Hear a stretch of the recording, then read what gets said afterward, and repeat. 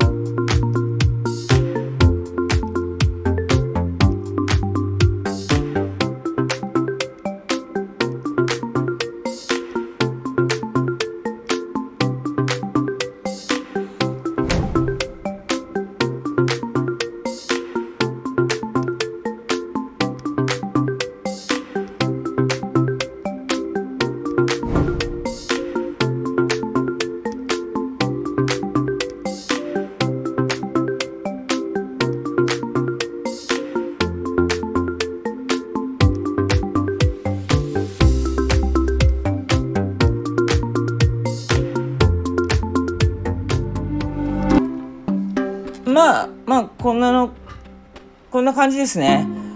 あ次回からエピソード5に行くみたいです。ちょっとワクワクですね。はい楽しみですね。はいということで今回の配信は以上となります。